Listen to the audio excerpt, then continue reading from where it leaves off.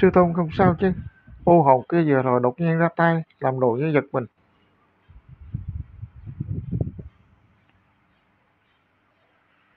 Di sư không sao, chỉ là lệnh kiếp hắn trói trước khi hồn bay phách tán, khiến người ta hơi để ý.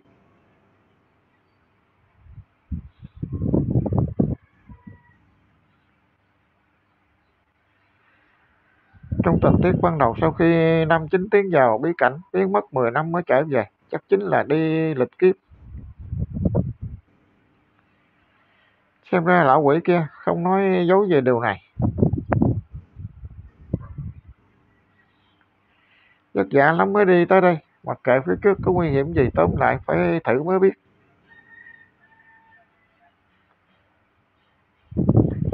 Một người thành tiên rất cô đơn, có sư tôn bên cạnh chẳng còn gì tốt bằng.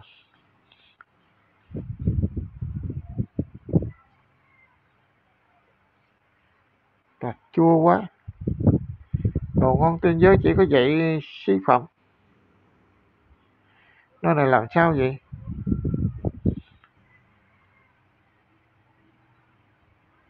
Sư tôn.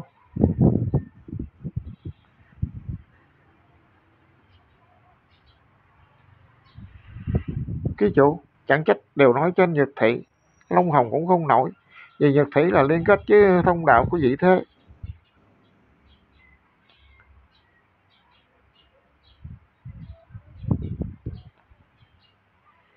Thì ra là vậy, cho nên lịch kiếp chính là quên chuyện kiếp trước, kiếp này. Đi trải nghiệm nỗi khổ nhục, đạo luân hồi, chịu đựng cái khó của thất tình lục dục.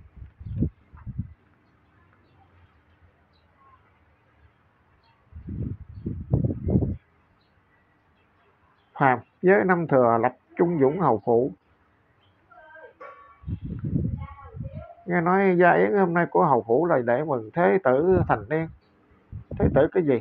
Chỉ là một tên ốc luôn nuôi dưới quê, chiếm thành thân phận đức tử thôi. Hình như lúc nhỏ bị sốt, hỏng đầu óc, chỉ có trí lực của trẻ 8 tuổi rất đáng thương. Đúng là kỳ quái. Nếu không coi trọng hắn, tại sao muốn tổ chức mừng sinh thần cho hắn? Đây là đâu? Rất xa lạ. Xui xẻo chết mất. Vậy mà bị phân tới hầu hạ tên ngốc dưới quê, xui xẻo. Còn không à, theo chủ tử như vậy, đời này đều bị quỷ rồi. Không, mình tuyệt đối không phải là người ở đây.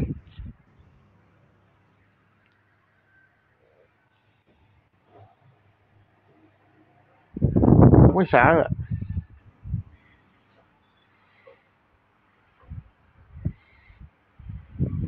Nhưng mình là ai?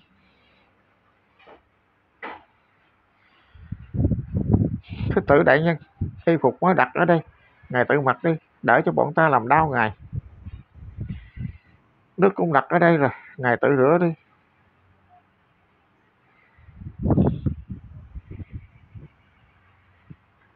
Đầu đau quá, ai nói cho tao biết đã xảy ra chuyện gì đi.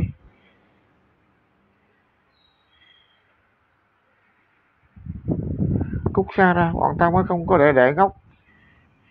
Đích tử cái rắm ngay cả hầu gia cũng không muốn nhận nhi tử này.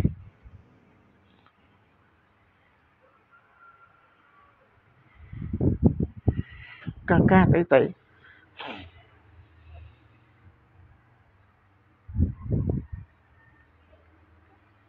thì ra mọi người đều chê mình ngốc là tấn ngốc không đúng mình có dự cảm mình tuyệt đối không thể lăn lộn tệ như vậy. Mình nhất định phải tra rõ ràng.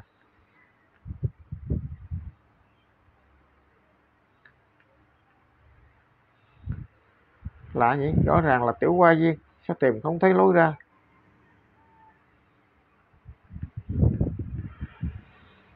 Ê, đợi đã. Ngươi là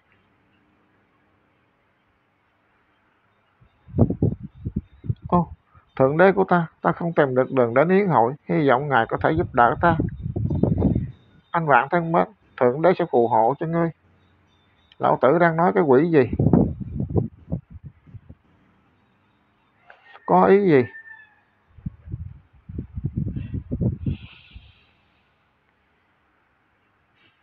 Chưa từng có người dám nói chuyện với cô như vậy. Thiếu niên này ngược lại rất thú vị. Ta không tìm được đường đến yến tiệc. Lúc đó cô cũng muốn đi đi chung. Tiền sảnh hầu phụ hoàng nhi, lần này cha đặc biệt mời thái tử điện hạ đến con nhất định cũng phải cố lên.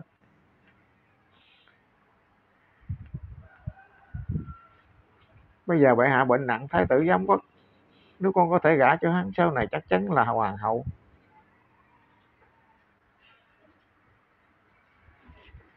Cha yên tâm, vì tương lai của mạc gia, nữ nhi nhất định sẽ lấy được lòng của thái tử.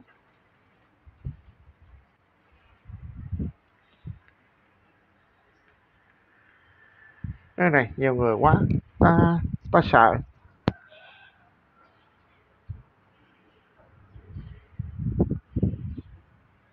Không sao, có cô ở đây. Mùa vị được người hoàn toàn dựa vào, lại không tệ bất ngờ hệ thống đang khởi động lại. Âm thanh gì? Ừ đau quá, đầu của ta. Ừ. sao vậy? Người dân ổn chứ, có cần gọi thấy y đến. Đau quá. Này cậu ký chủ, nếu cậu đã khôi phục trí nhớ thì mau chóng làm chính sự. Cậu có biết bộ hệ thống về cậu đã cưỡng chế khởi động lại, tiêu hao bao nhiêu năng lượng không? Tài sản tích bao lâu? Đau thịt hết đợi lát để ta suy nghĩ, đây đều là ký ức linh tinh gì? Sivu của lão tử sắp quá tải rồi thái tử điện hạ ngài ngài sao gì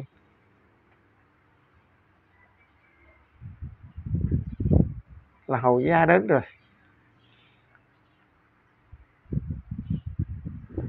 Thái tử điện hạ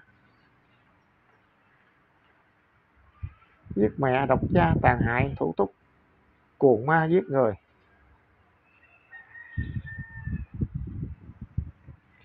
Một số ca rất điên. Được rồi. Thân thiện, nhắc nhở chút. Vị điên cuồng này là lão công của cậu. Tình tiết có bản hiển thị. Cậu sẽ bị hắn giày dò tới chết trong cung. Cậu có thể dùng một câu bao quát phó bản này rốt cuộc là chuyện gì không? Nói đơn giản trong tình tiết ban đầu, người lực kiếp nam chính giống là nữ nhân. Về sau trở thành một trong số hậu cung của nam chính?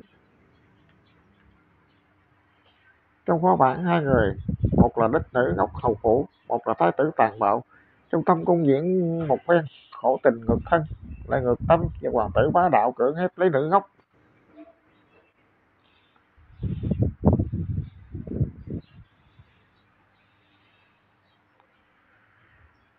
Tuy bây giờ người lịch kiếp là cậu khiến nhân vật bị chuyển giới, nhưng tình tiết chính của phó bản không hề thay đổi. Cũng tức là cậu sẽ trở thành đối tượng ngược đãi của lão công hậu. Ai da, thích nhất là xem kịch cái chủ chịu thiệt. Không phải đã bị giày dò tới chết rồi, trở về còn ngốc nghếch đi làm hậu cung, cô ta thèm ngược à. Con ngựa giống còn cần lô đít gì?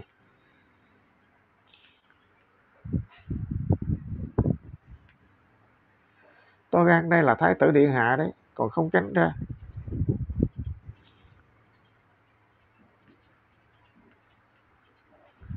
Nghịch tử này sao dám hỗn sực như vậy?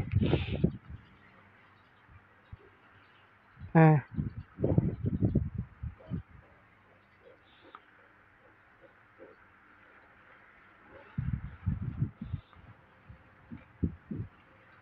thái tử điện hạ.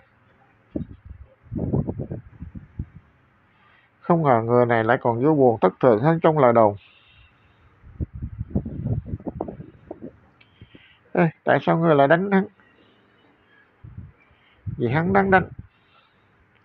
Thì ra hắn chính là tiểu thể ờ, thế tử bị sốt gốc của hầu phủ.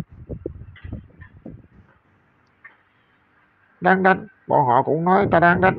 Hô hô bọn họ đánh ta. Xem ra tiểu ngốc này thường xuyên bị bắt nạt. Thái tử điện hạ, nhưng như nhà ta đầu óc hẳn không tốt lắm, cho nên có vài lời không thể coi là thật.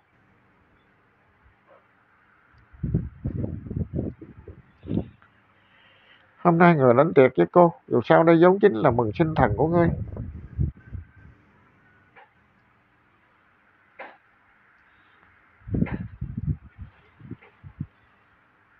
Được được. Ăn tiệc ăn tiệc thôi.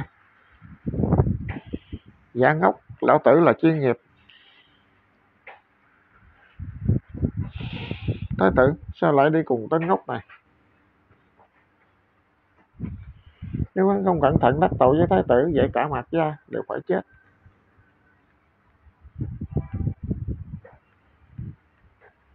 Nhiều đồ ngon quá, thúc thúc.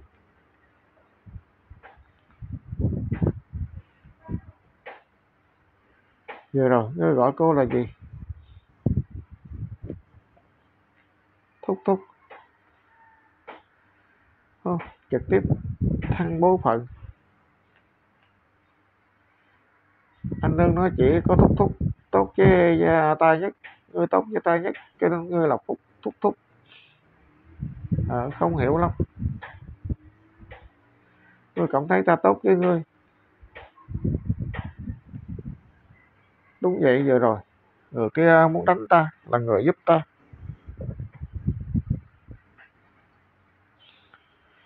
Ngươi có thể đừng rời xa ta không? Nếu ngươi đi, bọn họ sẽ lại bắt nạt ta.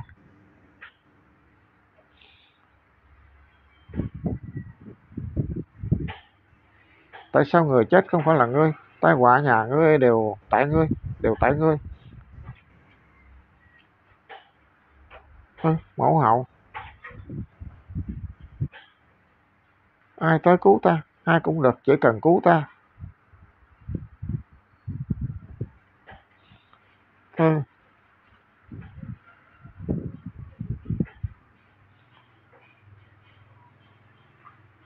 vậy ngươi cũng không thể rời xa cô.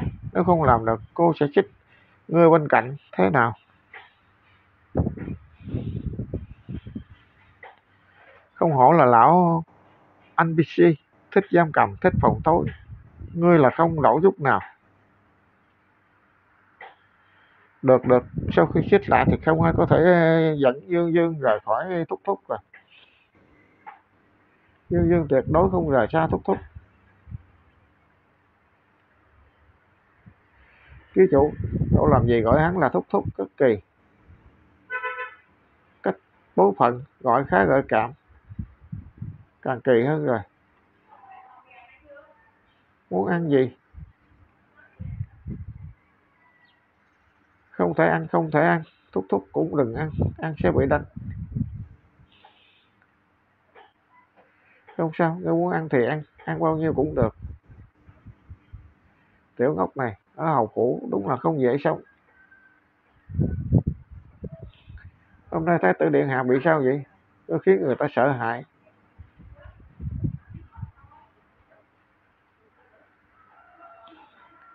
Cảm ơn thúc thúc chỉ có thúc thúc.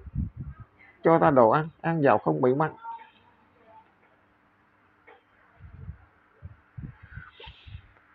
Bón ăn cái gì cũng ăn, cũng không sợ là thuốc độc, đúng là tiểu ngốc, đáng yêu.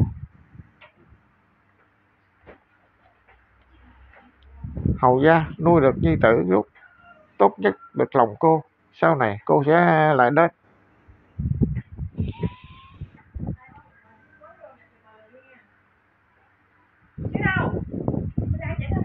Thái tử quá khen, mai thái tử điện hạ không chơi.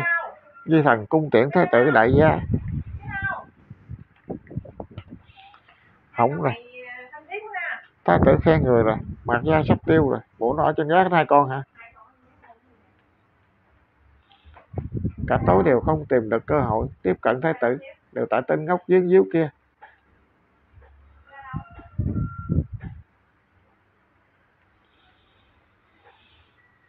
Phụ hoàng nhi thần lại đến thăm người đây.